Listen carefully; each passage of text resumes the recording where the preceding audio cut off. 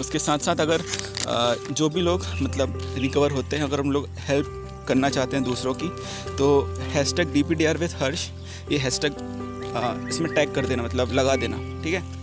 तो अगर आप मेरी वीडियो से रिकवर हो रहे हैं तब इसको लगा देना काफ़ी अच्छा होगा। अगर और भी लोग देखेंगे वीडियोस को आ, उनको कहीं ना कहीं मोटिवेशन मिलेगा कि यार ये वीडियो मतलब होता है ना कि आ, आ, अच्छी वीडियो का मतलब ऐसा होगा कि लोग देखें सच में रिकवर होंगे।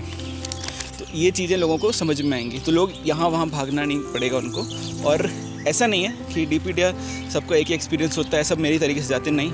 कुछ लोग का क्या है, कुछ अलग तरीके से जाते हैं, कुछ लोग अलग तरीके से रिकवर होते हैं। तो अगर आप अपनी वीडियो को शेयर करोगे तो लोगों को कुछ अलग चीज़ देखने को मिलेगी, अलग चीज़ पता चलेगी कि यार ज़रूरी नहीं, जो मैंने बताया वही नहीं, कुछ और भी हो सकता है, ठीक है? तो ये भी काफ़ी हेल्पफुल होगा, क्योंकि कुछ ना कुछ सबका अलग अलग रिकवरी के प्रोसेस हो सकती है अलग अलग चीज़ों से वो रिकवर हो सकते हैं। कुछ और ऐसा की होती है, जैसे एक लड़के ने मेरे को एक सजेस्ट किया था, वो था फास्टिंग का, ठीक है?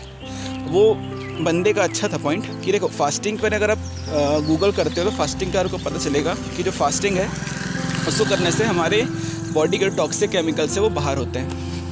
ठीक है? और हम जो भी एक्सरसाइज कर रहे हैं या जो भी हम अच्छी लाइफ स्टाइल कर रहे हैं, क्यों कर रहे हैं? क्योंकि हमारी बॉडी अच्छी रहे, क्योंकि हेल्दी माइंड्स लिव ना हेल्दी बॉडी तो फास्टिंग से टॉक्सिक केमिकल बाहर निकल रहे हैं और जो भी मैंने बताया, वहाँ से टॉक्सिक केमिकल बाहर निकल रहे हैं। तो फास्टिंग को आप लगा के फास्टिंग करके अब इस चीज़ को इम्प्रूव कर सकते हो, काफ़ी अच्छा इम्प्रूव पा सकते हो। क्योंकि वो लड़का जब रिकवर हुआ था, उसने बोला था कि, यार, मैंने फास्टिंग भी किया है तो आप सजेस्ट करो कि आप लोगों को फास्टिंग के लिए बताओ।